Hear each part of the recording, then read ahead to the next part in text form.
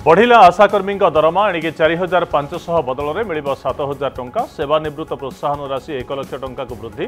ଉପକୃତ ହେବେ ଅଣଚାଶ ହଜାର ପାଞ୍ଚଶହ ବାଇଶ ଜଣ ଆଶାକର୍ମୀ।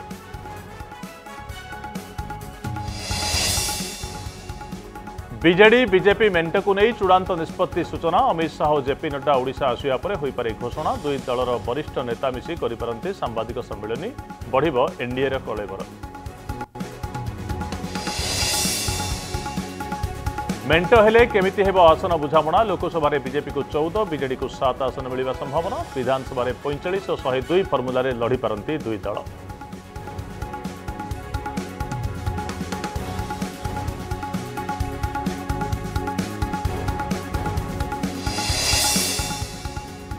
ନବୀନ ନିବାସରେ ବିଜେଡିରେ ମିଶିଲେ ବରିଷ୍ଠ ନେତା ବିଜୟ ମହାପାତ୍ରଙ୍କ ପୁଅ ଶହ ଶହ କର୍ମୀ ଓ ନେତାଙ୍କ ଉପସ୍ଥିତିରେ ଶଙ୍ଖ ଧରିଲେ ଅରବିନ୍ଦ ମୁଖ୍ୟମନ୍ତ୍ରୀଙ୍କ ଉପସ୍ଥିତିରେ ବିଜେଡିରେ ସାମିଲ।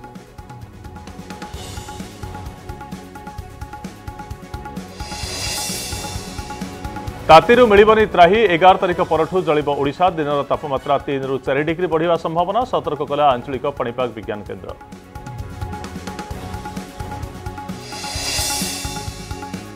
ବରଗଡ଼ରୁ ଆସିଲା ଦାରିଦ୍ର୍ୟ ଓ ଅସହାୟତାର କରୁଣ କାହାଣୀ। ସରକାରଙ୍କ ହାତରେ ନାତୁଣୀକୁ ଟେକିଦେଲେ ଜେଜେବାପା ପେଟକୁ ଦାନା ଦେଇ ନ ପାରିବା ଭୟରେ ତୁଟାଇ ଦେଲେ ନଅ ବର୍ଷର ମୋହ।